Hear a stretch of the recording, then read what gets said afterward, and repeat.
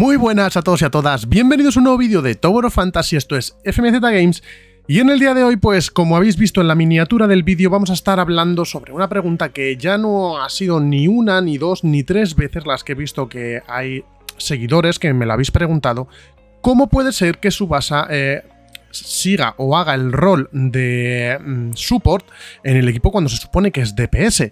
Bueno, pues para empezar, vamos a dejar claro que Tower of Fantasy pues, es un juego bastante flexible en lo que a composiciones se refiere y que un personaje puede llegar a cumplir varias funciones dependiendo de la composición en la que le vayamos a situar, ¿vale? En el mismo caso de Subasa, no es lo mismo eh, que coloquemos a Subasa en un equipo, por ejemplo, al principio del juego, con Meryl y Coco Ritter, que iba a ser el DPS principal, ¿vale? Iba a ser la persona que más DPS, vamos, el personaje que más DPS hiciese dentro del equipo, a una composición en la que... Eh, Subasa esté acompañada de Sakifuwa, por ejemplo, y de Alice. En este caso, tanto Sakifuwa como Alice van a hacer más DPS que Subasa y el rol en este caso de su base sería pues de buffer support, ¿vale? Porque eh, yo a los buffer, a, los personajes que su única función es tirar la habilidad, eh, hacer un par de dashes para conseguir el,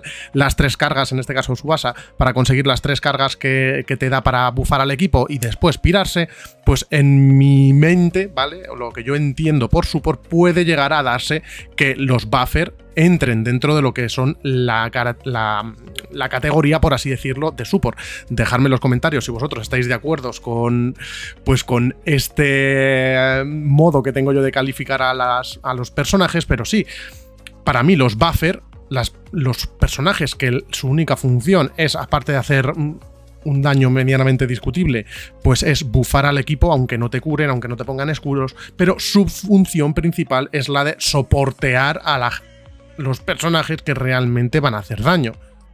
Como veis, me he venido aquí al depósito de armas para explicaros un poquito por qué eh, bufa la señora Subasa al equipo, ¿vale? Como veis, el primer dupe de Subasa va a hacer que eh, vayamos acumulando eh, cargas de flecha aguda cada vez que haces un dash, y sabéis que si haces un dash y disparas, apretas el botón de atacar, va a lanzar flechas, ¿vale? Pues esas flechas cuando impactan a un enemigo, lo que van a hacer es que consigamos por cada flecha que impacta un 5% durante 15 segundos, ¿vale? Nos estaría aumentando el daño en un 5%. El tercer dupe lo que nos va a hacer es que cada vez que hagas un dash y ataques, se van a lanzar tres flechas, por lo que puedes estar consiguiendo, si impactan las tres flechas, directamente pues las tres cargas que te permite lo que llevas hasta ahora, ¿vale? Ahí tienes desbloqueadas tres cargas. ¿Por qué digo esto?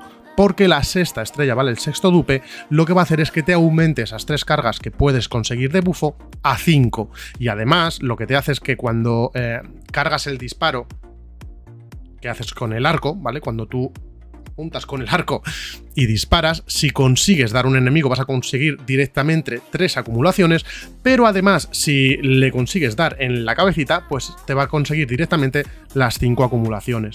Entonces, por eso su base en equipos en los que no brille por su DPS puede hacer la función de, de support.